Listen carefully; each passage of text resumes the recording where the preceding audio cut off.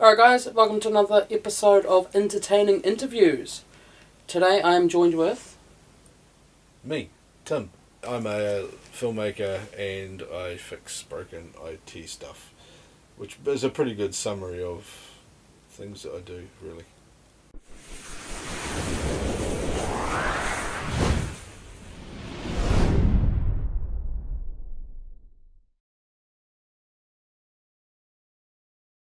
So when I say I'm a filmmaker, I do a number of different things. I provide um, film gear to crews for making films.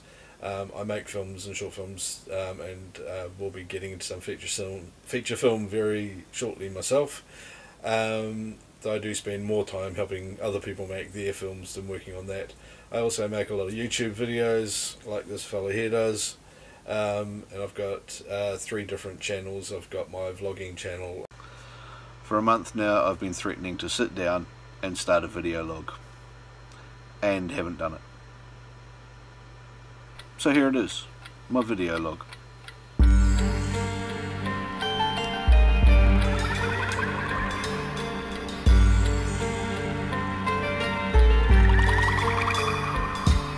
Was a normal Sunday morning, I was laying in bed, about to die in the middle of a dream, but instead I was awoken by a ringing in my head, and I said to myself, I feel like shit, but at least I'm not dead.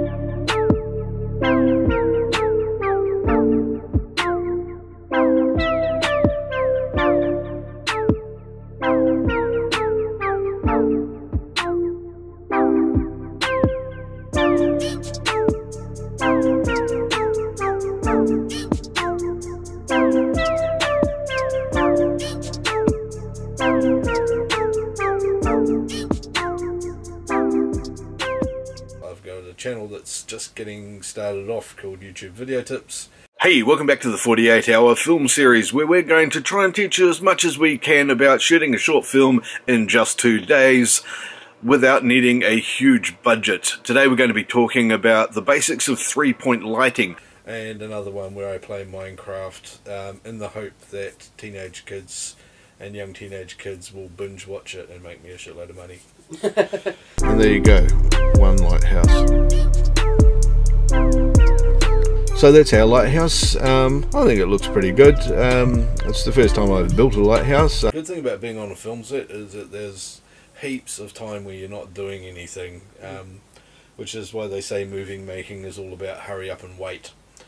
And um, while I was hurry up, hurrying up and waiting today, I decided to sit down in the middle of the national park where nobody else was there because I was looking after some gear.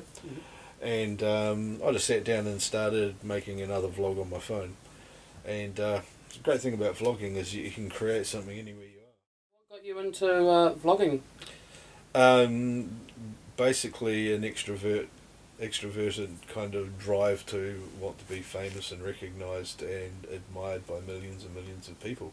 No, but the the other drive, uh, which is which is more of a thing, is um, being able to just have the ability to create something and make something every day.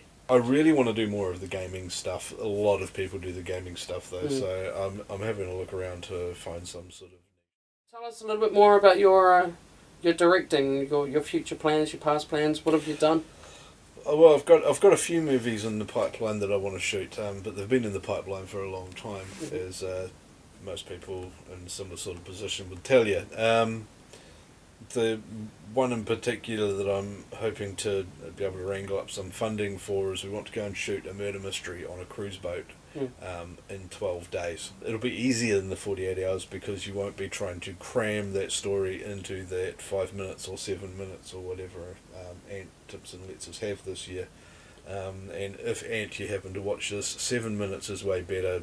Crushing it into 5 is an absolute ass. hmm I mean, it's a, it's quite a mission, even as um, you know, for crew and also for an actor to, you know, pick up a script, read it, get into character, shoot it. That's it. You know, as an actor, you don't get that chance to build that character, put on that character, and actually become that character. You just got to be kind of like human and portray that character. That kind of makes sense. Yeah, I've, I've tried being human before. It didn't work, didn't work so well. For Oh, so- well, yeah, I suppose I'm talking to the wrong person about being human. else is in the lines for Tim Simpson? Uh, we've got a horror flick that we um, were thinking about doing um, a few years ago that I'd like to have another whack at. Mhm. Um, I would- I would really like to be able to, and and this is absolutely ridiculous, and I have no idea how we're going to pull it off. But I would love to be able to shoot a Z grade horror film in forty eight hours.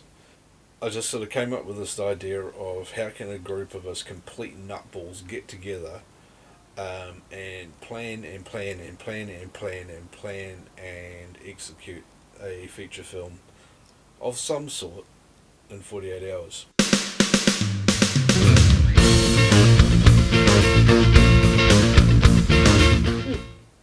There's, there's no reason you can't. So something I want to just briefly touch on. Um, you guys would have seen a quick interview with the lead actor from Rata today at Armageddon. What did you do on set? What did that involve? Um, I supplied gear for that that one mostly, uh, helped with lighting and things like that. Um, I didn't didn't do a lot on set, um, but yeah, being being around that was was really interesting. Um, the director of that, Rich Turner, is a good mate of mine, um, and he just does absolutely fantastic stuff. Mhm. Um, I encourage anybody to go just look up Rich Turner on IMDb. You'll see links to some of his other films there. And uh, yeah, basically anything he puts his hand on turns pretty well at the moment. No, it's There's always good the- when you find that good network of um, like-minded people when you click, and then you know it's not always about the money when it comes to that because you work well as a team. It's a good story, good experiences. Yeah, yeah. The, with a lot of film, it's interesting you talk about the money because that's a that is a, a large problem in the um, film industry in New Zealand. And, Mm. and while there are pools of funding available, they're heavily contestable, and they're very small. Filmmaking in New Zealand could become very easily our biggest export. There- There's so much space and so much capacity for us to grow Mm. so fast, and you know that that could be our, our number one export in a in a couple of years if we if we really went into it. Tim's not always been the guy behind the camera. I I like being in front of the camera as well. Um, I I grew up through school and um, and afterwards on stage a lot, and I absolutely love being on stage. I, I like to go get a lot of extra work. It's a great place to make contacts, and Mm. um, it's a great place to go and see how other people work. So um, I had a chance to go along and be an extra on Avatar. I was also an extra on The Hobbit, which was absolutely fascinating as well. Um, Get the bad. I'm super jealous. yeah. I was meant to be an extra, but they never got back to me after the initial call of, "I would like you to be an extra." After that, couldn't hear a damn thing. Yeah, I'm giv- jealous. Given you're about a foot shorter than me, and I got cast as a dwarf. That's what I was meant to be going at. Yeah, that's what. um, went along, and I had all of the the big boots fitted and the costume all done, and I had all the prosthetics made and everything, and had uh, went and spent a bit of time like a lot of the other dwarf extras did with Peter King, and that guy is just wonderful to work with as well.